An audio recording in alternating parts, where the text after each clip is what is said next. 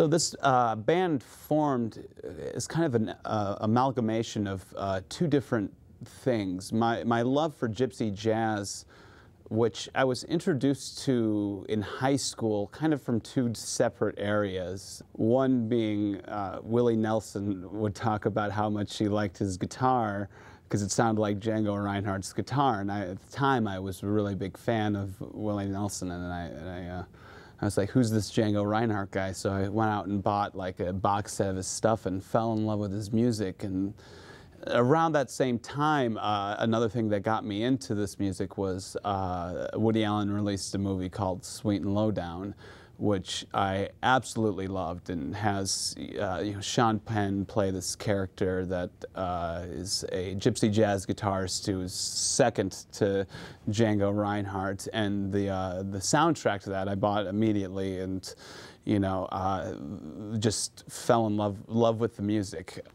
And then uh, Bistro Fada uh, was uh, one of the main themes of uh, Woody Allen's great film Midnight in Paris, and uh, I, uh, I, I, absolutely loved that movie. And uh, one day somebody uh, posted uh, him playing it on Facebook, and I was like, wow, that's a, a difficult melody.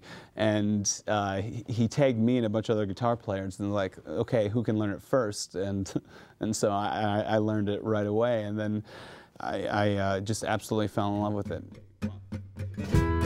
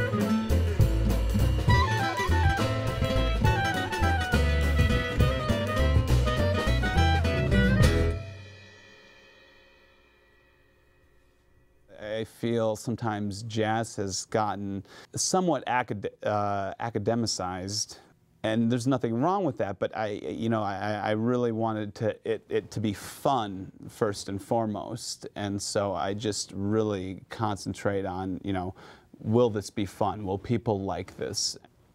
Belati is a ballad I wrote uh, that I, I, I, was very happy with how it turned out. Uh, and that, that, that's one of these songs that just didn't really take any work. Um, that doesn't come uh, come often. Like a lot of times, you know, you you have nuggets of ideas and you kind of put them together, and then you edit and you edit. Um, but it was it was a beautiful summer day, um, and I was teaching, and every student was coming in and telling me how beautiful it was, and I'm, I can't enjoy it because I'm stuck inside teaching. And so I, I just started playing something, and uh, I, I, started coming up with this riff and thought, God, that'd sound good on uh, clarinet. Um, it just came to me instantaneously. Uh, and yeah, that, that, doesn't happen often, but uh, it's such a treat when it does.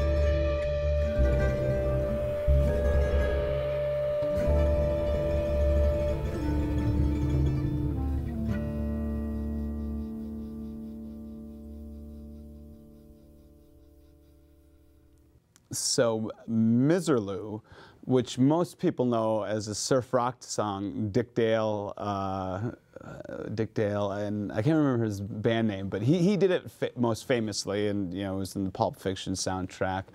Um, and someone commented to me that uh, you should arrange that song for the group. And I'm, I'm usually pretty open to taking songs and arranging for the group. And, and then uh, while doing it, I was like, well, I want to do this, but I don't want to necessarily play the guitar, the guitar line and the melody and play it like Dick Dale.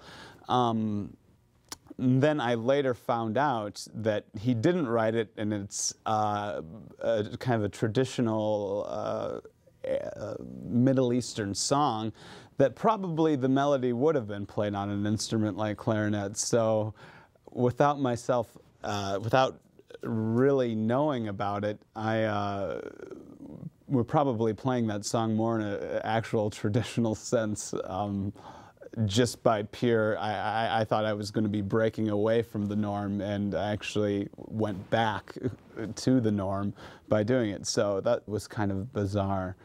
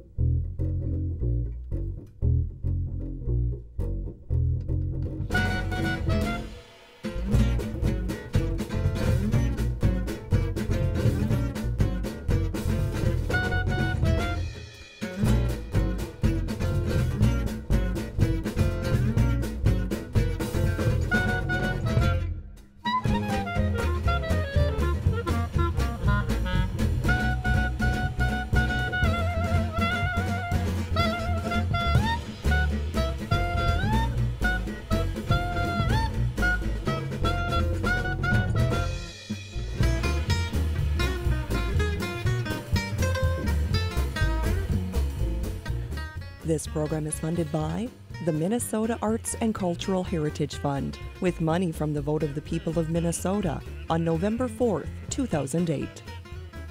And by the members of Prairie Public.